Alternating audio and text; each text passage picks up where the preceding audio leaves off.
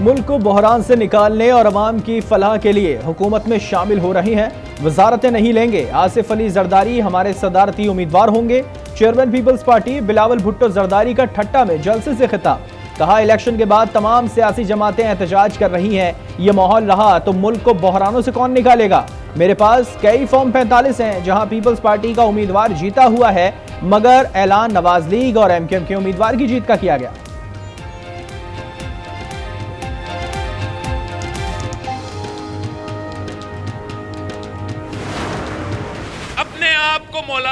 कह के फिर इतना ढिठाई से झूठ बोलना मज़ाक है। दूसरा पीर साहब है। ये पीर साहब कह रहा है कि धांधली हुआ। आप मुझे बताएँ कहाँ धांधली हुआ पीर साहब? जो शिकायत कर रहे हैं। चाहे वो पीर साहब हो या मौलाना साहब हो, कि एक सीट तो मैं छोड़ रहा हूँ ना तो आए फिर वो छोड़ा हुआ सीट पे मुकाबला करते हैं। देखते हैं कि आपका औकात क्या है।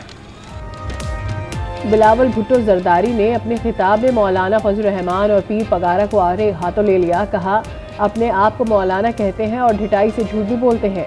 एक पीर धांधली की बात करता है, ये नस्ल दर नस्ल पीपल्स पार्टी से हारते आ रहे हैं। वोट मांगने नहीं जाते, लेकिन कभी कभी मुरीदों को दीदार करा देते हैं। बिलावल भुट्टो ने चैलेंज किया कि पीर और मौलाना के पास धांधली के सबूत हैं तो सामने लाएँ।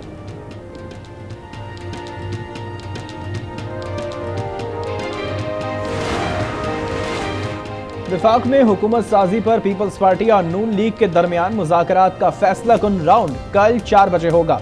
दोनों जमातों के दरमियान मुशावरत के चौथे दौर में मामला को हतमी शक्ल दिए जाने का इम्कान। जरा के मुताबिक, सदर ममलिकत और स्पीकर कौमी असम्बली के अहदे पीपल्स पार्टी को मिलेंगे। पीपल्स पार्टी को पंजाब काबीना में दो या तीन वजारतें मिलने का इम्कान। पीपी और नून लीग बलूचिस्तान में मिलकर हुकूमत बनाएगी। पीपल्स पार्टी के सरफराज बुक्टी को वज़ीर अला बलूचिस्तान बनाने का फैसला। Noon League M Q M Qaf League और आई पी पी समेत दीगर इतिहादी जमातों के साथ अलग मुजाकर करेगी। ख्वाजा आसिफ कहते हैं, पंजाब में नून लीग को सादा अक्सरियत हासिल है। शहबाज शरीफ को इतिहादियों से मिलकर हुकूमत करने का तजुर्बा है, इसीलिए इन्हें वजारत उजमा का उम्मीदवार बनाया गया है।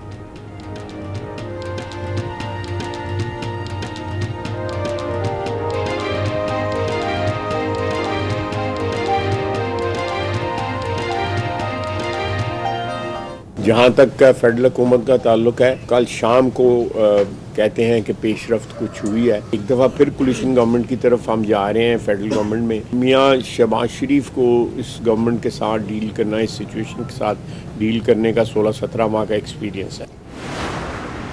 पाकिस्तान तहरीक इंसाफ मरकज में और सूबों में इन ताला हुकूमत बनाने जा रही है। हमारे पास नंबर है और हम लोग हमारे मौके की तायद हुई है।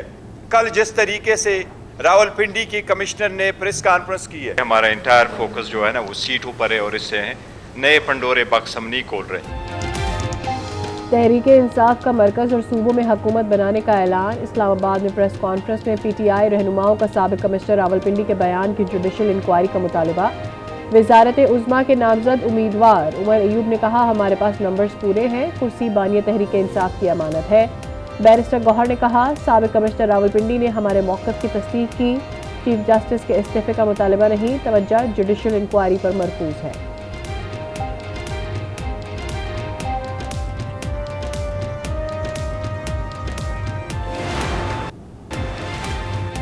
पी टी आई की हिमायत याफ्ता मुंतब आज़ाद अरकान सुन्नी इतिहाद काउंसिल में शामिल हो गए। बानी तहरीक इंसाफ ने मंजूरी दे दी।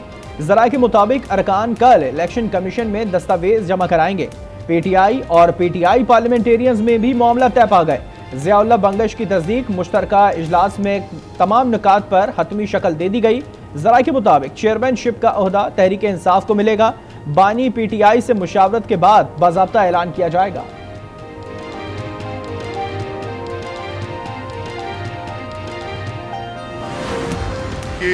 कमिश्नर नॉन पार्टी है। ना ये किसी स्टेज पर आर हैं, ना ये किसी स्टेज पर डी हैं, ना इनका इलेक्शन के पूरे प्रोसेस से कोई ताल्लुक है। अगर इस शख्स के पास कोई एक सबूत होता तो जो इस हद तक ब्लेटेंट हो गया था तो वो कोई एविडेंस प्रोवाइड करता। नून लीग ने सबक कमिश्नर रावलपिंडी के इल्ज़ाम को नौ मई पार्ट टू करार दे दिया। लाहौर में लीगी रहनुमाओं की प्रेस कॉन्फ्रेंस मलिक अहमद खान ने कहा, कमिश्नर रावलपिंडी के पास कोई सबूत होता तो पेश करते। अजमा बुखारी ने कहा, लियाकत चट्टा ने प्रेस कॉन्फ्रेंस से पहले असलम इकबाल से मुलाकात की।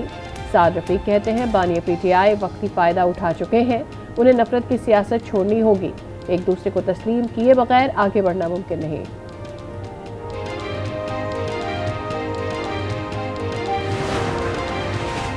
वजीराबाद के इलाके अलीपुर चट्ठा में पुलिस का सबक कमिश्नर रावलपिंडी, लियाकत अली चट्ठा के पीए अशफाक तारड़ के घर पर छापा।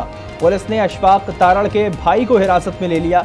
अहलिया अशफाक के मुताबिक पुलिस ताले तोड़कर घर में दाखिल हुई, घर की मुकम्मल तलाशी ली और मोबाइल फ़ोन तहवील में ले लिए।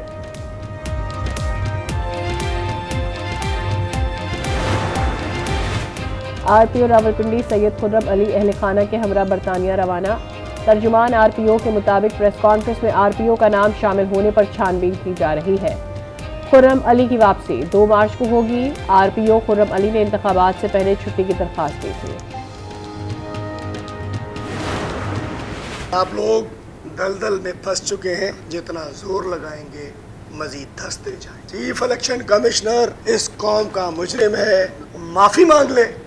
वक्त से बेहतर। नहीं तो इंशाल्लाह वक्त आएगा कि इसको आर्टिकल सिक्स लगाया जाएगा। आर्टिकल सिक्स की सजा सबको पता होनी चाहिए। लियाकत अली चट्ठा ने कच्चा चिट्ठा खोल दिया। रहनुमा पीटीआई हलीम अली शेख कहते हैं, तहरीक इंसाफ ने भारी अक्सरियत से कामयाबी हासिल की। चीफ इलेक्शन कमिश्नर कौमी मुजरिम है। बेहतर है, मुआफी मांग लें, वरना वक्त आने पर आर्टिकल छह लगेगा। चीफ इलेक्शन कमिश्नर मेम्बरान और आरोस और निगरा हुकूमत दलदल में धस चुके हैं। जितना ज़ोर लगाएँगे, उतना फंसते जाएँगे। प्याज से ढाई सौ रुपये में किलो मिलता है। आलू हर चीज़ महँगी हो गई है डबल रेट हो रहे हैं। इधर कोई पूछने वाला नहीं है। इस कदर महँगे हैं कि अगर पाँच किलो का जहन बना के आते हैं तो यहाँ से एक किलो लेके जाया जा सकता है। अगर यहाँ पे भी संडे बाज़ार के अंदर भी वही रेट है जो एक आम दुकानों में रेट है तो फिर संडे बाज़ार का तो कोई फ़ायदा ना हुआ ना? मुल्क भर में महँगाई से आवाम परेशान। फलों और सब्जियों की कीमतें आसमान से बातें करने लगी। शहरी कहते हैं घर का बजट बनाना मुश्किल हो गया है। मुनाफाखोरों को कोई पूछने वाला नहीं है। कराची अदबी मेले का आखिरी रोज, शहरियों की बड़ी तादाद में शिरकत।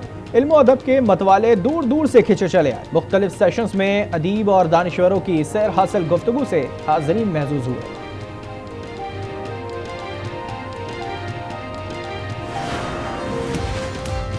मुल्क के बालाई इलाकों में बर्फबारी का नया स्पेल।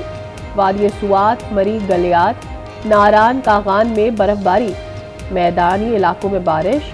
मरी में कल तूफानी बारिश और बर्फबारी की पेश गोई। मलका कोहसार में 22 फरवरी तक मौसम की सूरत हाल गैर यकीनी रहेगी। इस्लामाबाद, रावलपिंडी और बालाई पंजाब के मुख्तलिफ़ अजला में बारिश। अमरीका की मुख्तलिफ़ रियासतों में बर्फानी तूफ़ान स्कूल बंद, परवाजें मनसूख हो गईं। लाखों अफराद बिजली से महरूम। New York Ohio, Pennsylvania, Illinois और मिजोरी में हर तरफ़ सफेदी। चीन के सूबे शिंकियांग में भी शदीद बर्फबारी। सऊदी अरब के तबूक रीजन में बर्फबारी। पहाड़ों ने सफ़ेद चादर उड़ ली। बुलेविया में मूसलाधार बारिश के बाद लैंडस्लाइडिंग तीन अफराध हलाक और दर्जनों मकानात मलबे का ढेर बन गए